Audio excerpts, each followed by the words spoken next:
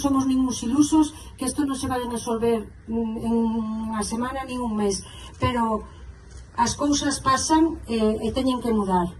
Teñen que mudar e temos que ser todos os que empuxemos para mudar. Coa patronal que non é que non é como debe ser. Non me vou estender agora, pero sei que hai muchas, moita xente do sector que é de bandera e que é un orgullo, pero a xente que non cumpre reiteradamente esa hai que fastala, porque estamos